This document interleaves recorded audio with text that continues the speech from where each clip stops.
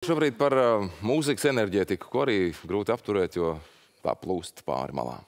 Jā, un tā noteikti var eh, raksturot arī šī vakara koncertu Lielajā ģildē, kad Latvijas Nacionālais simfoniskais orķestris festivāla saksofoni ietvaros kopā ar solistu, saksofonistu Arvīdu Kazlauski un Rīgas saksofonu kvartetu atskaņos mūziku, kas Latvijā skanēs pirmo reizi. Pasaules pirmatskaņojumu piedzīvos komponista Uģa Prauliņa uvertīra saksofonu kvartetam un orķestrim. Spožais saksofonists Arvīds Kazlauskas Latvijas klausītājiem atklās Džona Adamsa saksofonu koncertu, bet mēģinājumu klausījās mūsu kolēģi Ilza Strenga.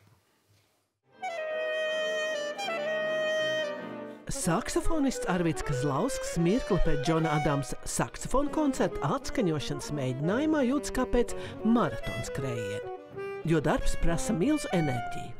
Pasaulē atzītā komponista Adamsa skaņdarbs Latvijā skanēs pirmo reizi.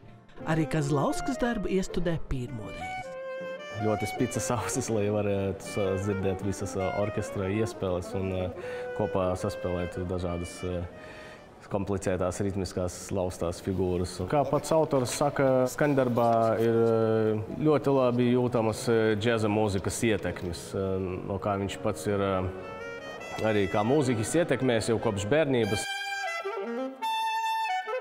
Es tur saklausu gan bebopu, gan, gan to pašu funku, gan arī smooth, tāds džēzs, tāds posms, kur, kur var ļauties mazliet tādam mm, reibumam no šīs skaistās mūzikas.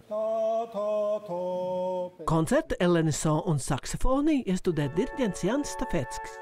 Ar jaunības enerģiju apveltītais un kontrabass spēlē rūtītais diriģents koncerta daudzveidīgo programmu dēvē par bagātu intelektuālās enerģijas apmaiņu. Šī ir tāda rotaļa ar intelektuālo, nu, teiksim, mūsu jau bagāžu, ko mēs esam uzkrājuši ļoti straujā laikā vispār 20. gadsimta mūzikas vēsturē. Un šīs nedēļas programma arī ir pat par sevi ļoti uzlādēta. Un tas, ko mēs spēsim dot klausītājiem, tas man dara, tas man nes spārnos.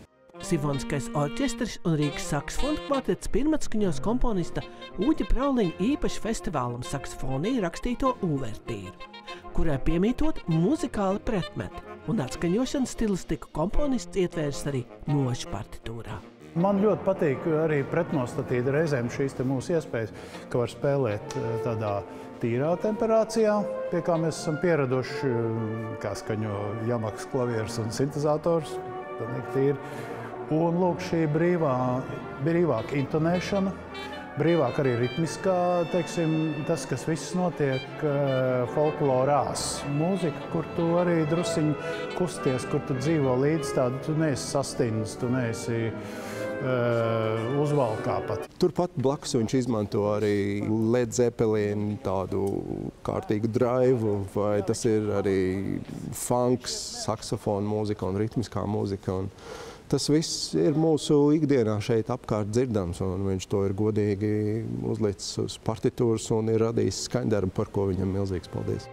Lielajā ģildē 17. februāra koncertā Elenas un saksofonija izskanēs arī Modesta Musorgska izstādes glēsnes.